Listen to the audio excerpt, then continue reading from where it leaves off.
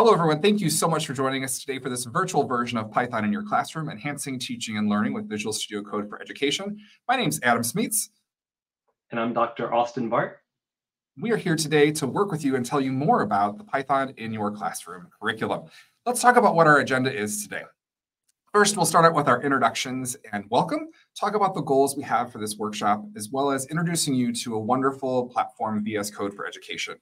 Uh, Dr. Bart will take us through a dive into his curriculum, as well as introducing us to the resources and teaching activities that are available, and even walking us through an example lesson. So you have a lot in store today. You'll see across this series and playlist, there's a number of videos that you can watch. We invite you to engage and connect uh, with all the resources. So let's get things started with introductions. My name is Adam Smeets. I'm a senior program manager working with the Visual Studio Code for Education team.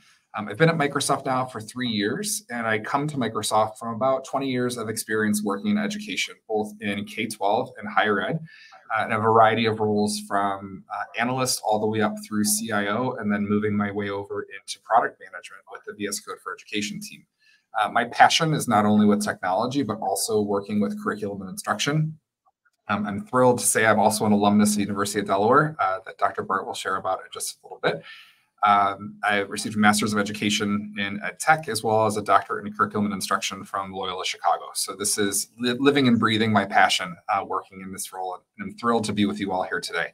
Dr. Bart, why don't you share with us your introduction as well? Sure, delighted to.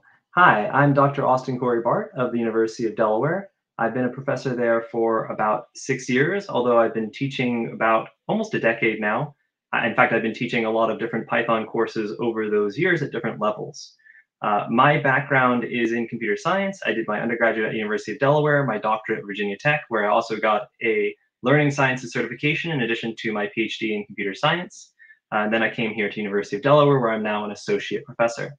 Uh, I do a lot of teaching, but I also do a lot of research in computer science education research on introductory computer science experiences from a motivational perspective, from a cognitive perspective, also developing tools like auto grading resources, and of course the curriculum for Python that we're going to talk about today. So I'm very excited to be here and talk about this.